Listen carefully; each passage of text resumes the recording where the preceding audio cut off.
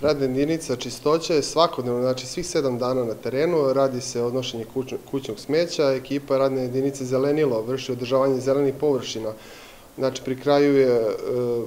košenje, polako krećemo sa skupljanjem lišća, e, orezivanjem grana, e, radne jedinice u okviru azila i zohigijene su na terenu, vršimo sahranjivanje redosledom koji je zacrtan. Pred nama je zimska služba koja se polako organizuje i sačekat će spremno zimu.